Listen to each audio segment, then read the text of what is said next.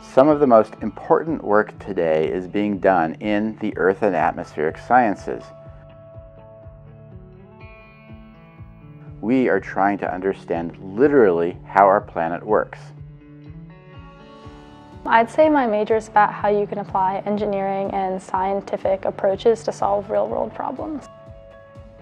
Like what drives climate change and can we predict hazards like volcanic eruptions and earthquakes? I chose this program because coming into college, I knew what my ultimate goal was going to be was to work with climate change and work with sustainability. And I thought that the best way to actually get involved with that was to really learn about the climate science. We are the basic science that informs engineering solutions.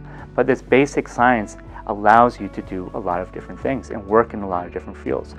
When you learn how to use satellite imagery for one problem, it's very easy to apply it to something else. You're learning techniques and tools that can be applied to a wide range of issues that are relevant to society. I think one of the most exciting things I'm doing outside of classes involves my activity on CUGU data, which is a student-based project team that designs and deploys uh, instrumentation.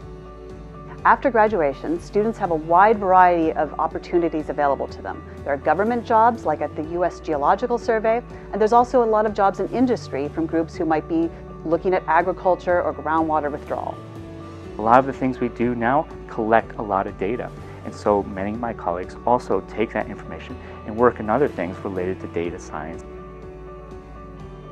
So I'm getting this really holistic view on how to actually address climate mitigation, adaptation, solutions. Yeah, I wouldn't trade it for anything. Majoring in earth and atmospheric sciences will provide you with the skills to make a real impact.